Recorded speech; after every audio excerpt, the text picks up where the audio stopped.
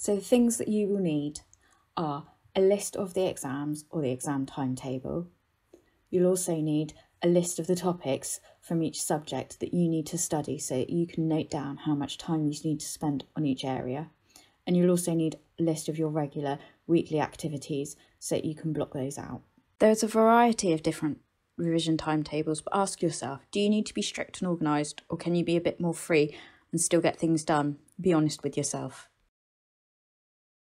With your list of exam topics, you first need to start looking at all of the things that you need to study and breaking them down, thinking about how you're going to study them and how long you're going to need. So let's have a look at this one. I reckon this is going to take me about 15 minutes. I was quite good at that in class. This one, let's have a think about that one. I think this is going to take a little bit longer, an hour. And I think that the best way of learning this is to produce a diagram.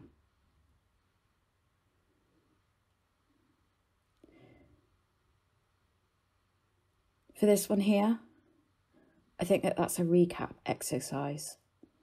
And this one down here, well, I missed this lesson, so I'm going to have to spend a lot longer with this one.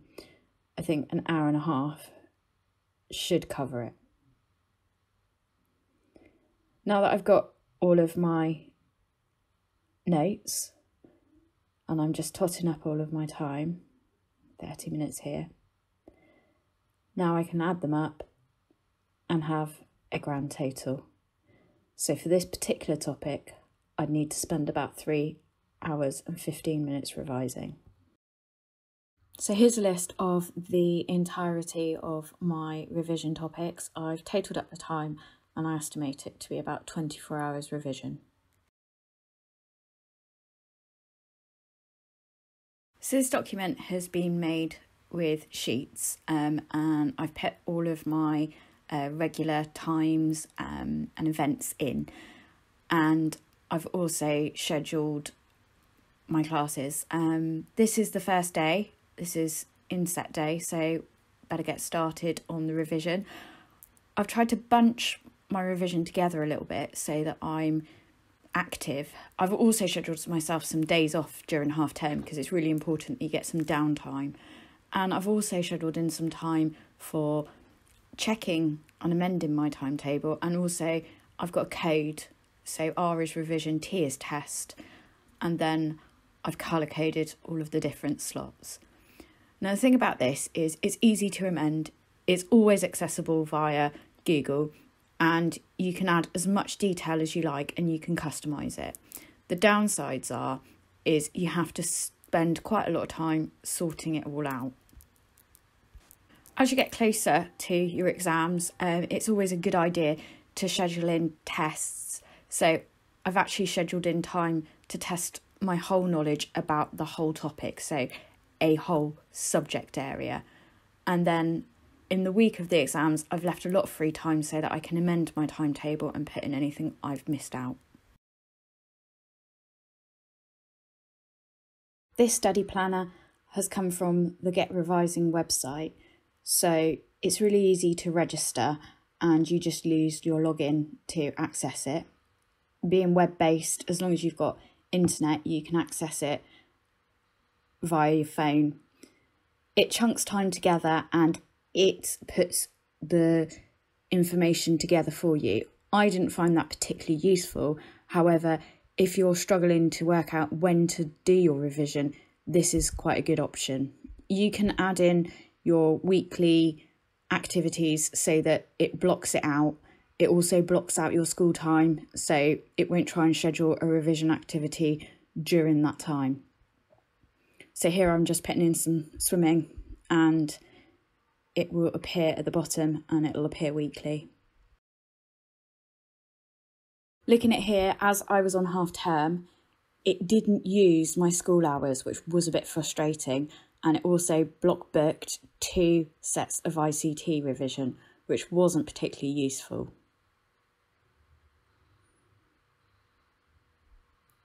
You can change and add all of the different subjects you're doing, amend the level, and also set target grades. And you can give the time that you're away for classes into it. You can also set yourself reminders via email that you've got a study session coming up. You can also customize your different study slots so you can actually say what you're going to do, make plans, make notes about what you're going to do in that section, and you can colour code your subject areas.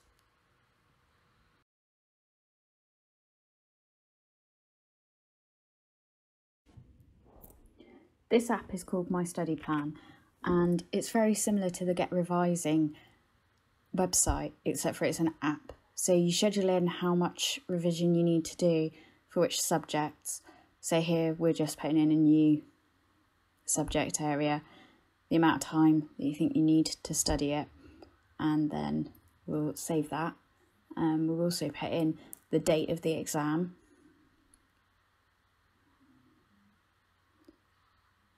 There we go. So it's now added it to my list. So you can then amend your priorities. So if you think you've got a particular subject that you're stronger at and you don't need to do quite so much revision, then it won't schedule as many slots. And if you've got a subject that you think you need to focus on, then it will do that. You can set the amount of time that you're going to study and then press generate and it will generate a timetable for you. So it's very much like the the Get Revising one where it actually schedules the time for you. Unfortunately, it uses the time that you say each week you're going to use as opposed to the amount of time you feel you need. But you can amend those slots. So here we're just amending one.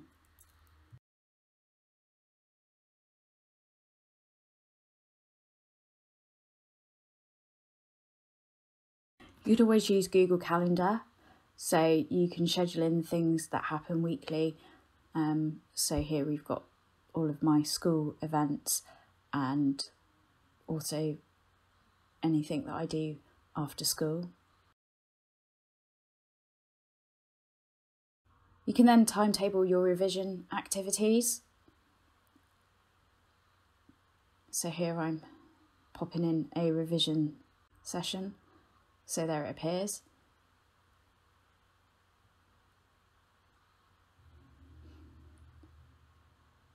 Here's another revision session that I'm scheduling.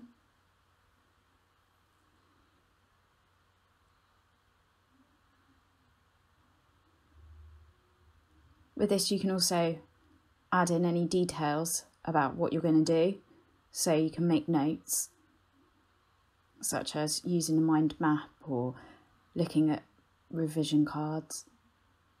You can colour code each of your icons too, so that might help you. The good thing about this is that it's always accessible and it's easy to print off. However, there is an awful lot of things that you will need to input into it in order for it to work, such as the times you're at school, the times that you do out school activities, but it is easy to amend. You can always put together a timetable on paper. You could draw out a grid or you could be using one like a template. So here I've used the same one that I used in the sheets and I've written in all of the different things that I need to revise or test myself on. I've colour coded it so that it's easy to see and I've also put in some time where I check and amend my timetable I've put in blocks where I'm not going to be doing anything and also put in my weekly events.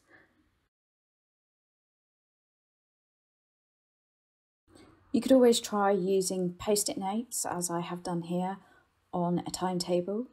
So again, I've used the same one as my sheets and I've written all of the different things I need to revise on colour-coded post-it notes. I've split them up into 30 minutes time slots roughly, and then I can stick them on the relevant box. And then that means that I can easily amend it and I can move it about and I can see what it is that I'm supposed to be revising and when.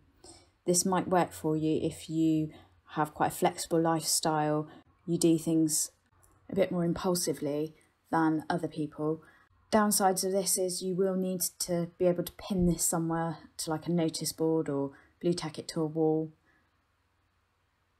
and it needs to be reasonably big so that you can see it and that you can get enough information on each of those notes. So my top tips for revision would be to make sure you plan your revision timetable very early. Uh, the earlier the better because you always miss time or something will come up or something will happen. And also add in extra slots in your revision timetable to, um, in case something happens and you have to miss a chemistry slot, for example, you can always do it at the end. And then finally, I'd say make sure you leave time to test yourself on the knowledge. So don't just spend all of your time uh, writing out notes and using flashcards and whatever. Make sure you actually do some tests and do some exam practice because it's really helpful and can really, really benefit you.